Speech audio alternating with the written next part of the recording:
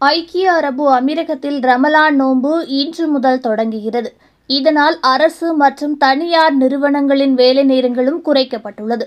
அமீரகத்தில் நேற்று மாலை பிறை தென்பட்டதை அடுத்து இன்று முதல் ரமலான் மாதம் தொடங்குவதாக அறிவிக்கப்பட்டுள்ளது. இஸ்லாமிய புனித மாதமான ரமலான் மாதம் அமீரகத்தில் இன்று முதல் தொடங்குகிறது.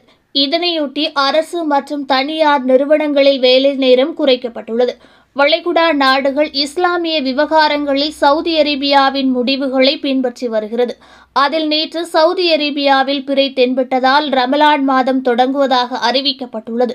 இந்த நிலையில் நேற்று அமீரகம் பிறை பார்க்கும் கமிட்டி ரமலான் மாதம் தொடங்குவது குறித்து அறிவிப்புகளையும் வெளியிட்டுள்ளது. அதன்படி அமீரகத்தில் இன்று சனிக்கிழமை முதல் ரமலான் நோன்பு தொடங்குகிறது. இதனைத் தொடர்ந்து அமீரகம் உள்ளிட்ட பெரும்பாலான வளைகுடா நாடுகளும் இன்று முதல் ரமலான் மாதம் தொடங்குவதாக அறிவித்துள்ளது. இஸ்லாமிய நாட்காட்டி பிறைகளின் அடிப்படையில் உருவாக்கப்பட்டது.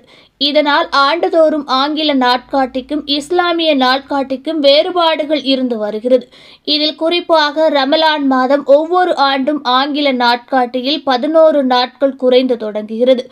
கடந்த இரண்டாயிரத்தி இருபத்தி ஒன்றாம் ஆண்டு ஏப்ரல் பதிமூன்றாம் தேதி ரமலான் மாதம் தொடங்கியது. புனித ரமலான் மாதத்தில் அனைத்து இஸ்லாமியர்களும் முப்பது நாட்களுக்கு கடமையாக்கப்பட்டுள்ள நோன்பு இருக்கிறார்கள். இதில் அதிகாலை பஜார் நேர தொழுகைக்கு முன்பாக சாகார் உணவு உண்ணப்படுகிறது. அதனைத் தொடர்ந்து சாகார் உணவு நேரம் முடிவடைந்த பின்பு நோன்பு இருப்பவர்கள் தண்ணீர் கூட பருவதில்லை.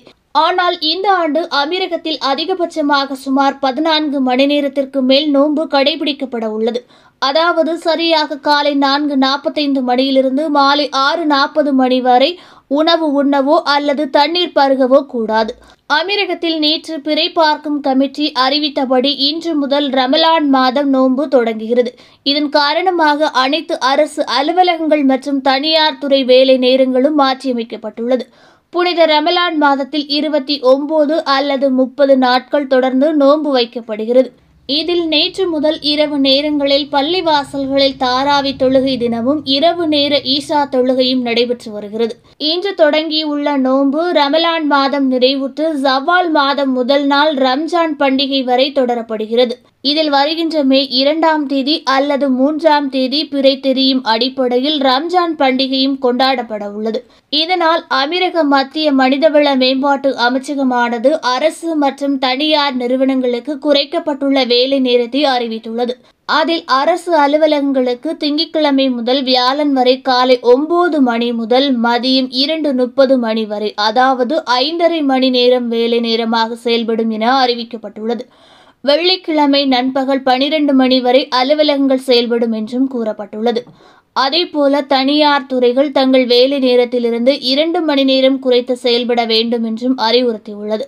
அமீரகத்தில் வங்கிகள் காலை ஒன்பது மணி முதல் மதியம் இரண்டு முப்பது மணி வரை செயல்படும். மேலும் போக்குவரத்து கார் பார்க்கிங் நேரங்களும் மாற்றியமைக்கப்பட்டுள்ளது. ஆம்புலன்ஸ் உள்ளிட்ட அவசர சேவைகள் தங்களின் தேவைகளுக்கு ஏற்ப வேலை நேரத்தை மாற்றிக்கொள்ள அனுமதி அளித்துள்ளது. ஓமன் நாட்டில் நேற்று மாலை பிறை பார்க்கப்பட்டது. அப்போது பிறை தென்படவில்லை. எனவே ஓமன் நாட்டில் நாளை நேற்றுக்கிழமை ரமலான் மாதம் தொடங்கும் எனவும் அறிவிக்கப்பட்டுள்ளது. ஓகே ஃப்ரெண்ட்ஸ் இது போன்ற நியூஸ்களை உடனுக்குடன் தெரிந்து கொள்ள எங்கள் ரேஸ் தமிழ் சேனலை லைக் பண்ணுங்கள் ஷேர் பண்ணுங்கள் கமெண்ட் பண்ணுங்கள் மறக்காமல் சப்ஸ்கிரைப் பண்ணுங்கள்